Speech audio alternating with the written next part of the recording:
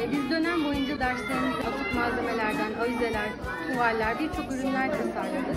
Bugünkü sergimizde ve defilemizde de atık malzemelerden, pet bardaklardan, çöp şişelerden, çocuklarımıza kıyafetler tasarladık, onları sergiledik. Amacı da dünyadaki birçok atık malzemenin dönüştürülebileceğini çocuklara aşılamak oldu.